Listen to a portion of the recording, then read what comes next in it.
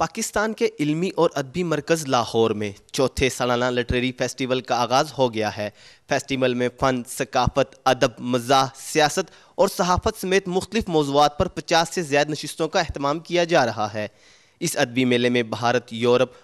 It's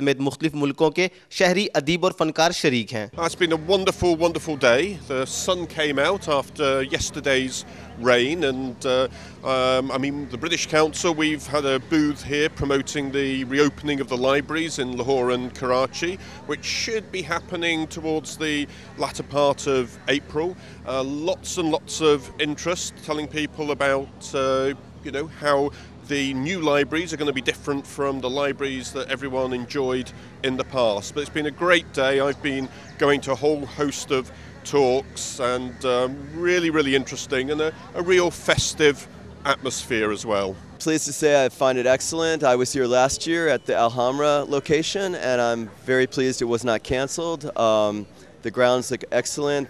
Security is wonderful and I think that uh, I'm very pleased with it. I will be here tomorrow as well. ماضی میں یہ festival Alhamra art council میں سجایا جاتا رہا ہے، لیکن اس بار سیکیورٹی خدشات کے سبب اسے ایک نجی ہوٹل میں منعقد کیا جا رہا ہے، جبکہ اس کا دورانیہ بھی تین سے کم کر کے دو دن کر دیا گیا ہے۔ یہاں پہ اپنا ان کا بڑا لیبریٹ سیکیورٹی میکنزم موجود ہے۔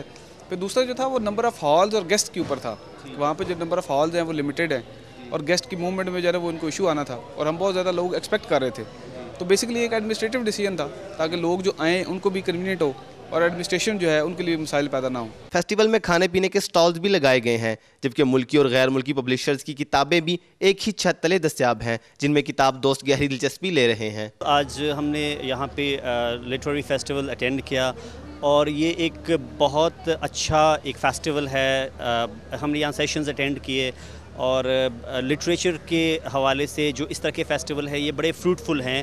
تاکہ جو لوگ پڑھتے ہیں انٹرسٹ لیتے ہیں بکس میں اور ایسے لٹریچر کے متعلق وہ پڑھنا چاہتے ہیں اور آگاہی حاصل کر اسپیشلی نیو جنریشن ان کے لیے ایسے فیسٹیول بہت زبردست ہیں۔ کافی اچھا فیل ہو رہا ہے کیونکہ ہم لوگ اسٹوڈنٹس ہیں، تو ہم لوگوں کے لیے ایک ایسا ہی پیکیج ہونا چاہیے کہ جو ہم لوگوں کو اس اپنی ایک وہ جو ہائپوتھیٹیکل ہماری دنیا ہوتی ہے مطلب ایک اسٹوڈنٹ کی لائف مطلب آپ یونیورسٹی گھر اور لائبریری کے علاوہ، یہاں پہ جیسے ہم دیکھ رہے ہیں کہ مختلف کلچر سے لوگ ہیں اور ہماری کنٹری کے بھی زیادہ تر لوگ نہیں ہیں۔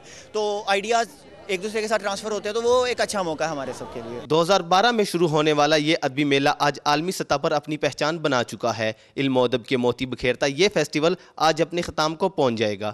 سیکیورٹی خدشات کے باوجود بڑی تعداد میں عوام کا اس ادبی میلے میں شریک ہونا اس بات کا ثبوت ہے کہ پاکستانی ادب سے پیار کرنے والی قوم ہے۔ کیمرمین قاسم عبدالغنی کے ساتھ طاہر جمیل خان کیٹو نیوز لاہور۔